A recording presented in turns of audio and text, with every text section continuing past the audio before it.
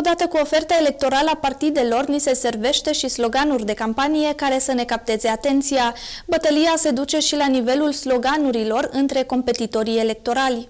La început, PSD și PNL au ieșit cu sloganuri asemănătoare. PSD a prezentat electoratului simpatizant sloganul Îndrăznește să crezi în România. Pentru oamenii frumoși. Pentru acei bravi soldați ai armatei române.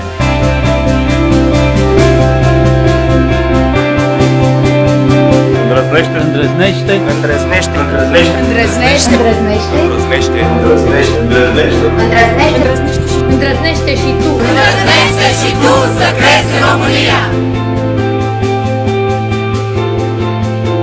O serie de bannere ale PNL-ului în care îl prezentau pe premierul Dacian Cioloș de-al lor prezentau un slogan asemănător. Îndrăznește să crezi în România condusă de oameni cinstiți. Fie a fost o gafă intenționată, fie și-au furat unul altuia căciula. Până la urmă, duminică, PNL a ieșit cu un alt slogan România înainte.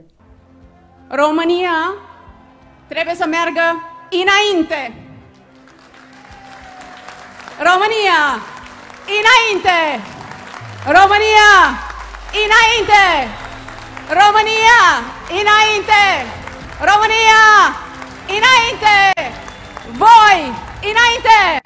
În ceea ce privește UDMR-ul, această formațiune politică are un slogan general care s-ar traduce prin Transilvania, viitorul pentru noi toți. Însă s-au iscat nenumărate discuții pe sloganurile apărute în diferite orașe mari din Transilvania, prin care se cerea alegătorilor să scape orașele respective de București. Salvăm Clujul de București, taxele noastre să îmbogățească Ardealul, nu capitala, a fost sloganul adaptat pentru orașele din Transilvania. În schimb, ALDE creează confuzie prin sloganuri neunitare de la Redăm România românilor la îndrăznește mai mult, care nu se regăsește și pe afișele electorale ale candidaților din teritoriu. De exemplu, Ian Ghișe merge la Brașov cu sloganul Cinste, experiență, competență, în timp ce la Neam se promite schimbarea schimbării. USR ca partid proaspăt îl susține pe actualul premier Dacian Cioloș și spune potențialilor alegători că, în sfârșit, ai cu cine. PRU a mers de la început pe mâna lui Victor Ponta, deși acesta e membru și candidat PSD. Alături de Victor Ponta a fost sloganul lor dinaintea campaniei electorale. În ceea ce privește PMP, acesta ne spune din nou că împreună mișcăm România.